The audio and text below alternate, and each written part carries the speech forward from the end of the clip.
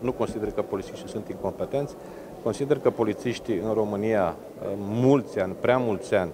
n-au beneficiat nici de salarizare corespunzătoare, nici de protecție legală, legislativă corespunzătoare, nici de asigurări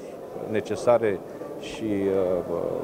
obligatorii peste tot în lume, uh, nici de dotările uh, de care au avut nevoie, uh, nici de încurajările de care aveau nevoie. Sigur, în orice sistem sunt oameni incompetenți, dar uh,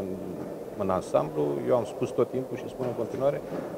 Poliția română, Jandarmeria română, structurile Ministerului de Interne sunt uh, foarte profesioniste, sunt populate cu oameni uh, conștiincioși, oameni curajoși, oameni care au o viață foarte agitată și foarte periculoasă și mai puțină viață de familie.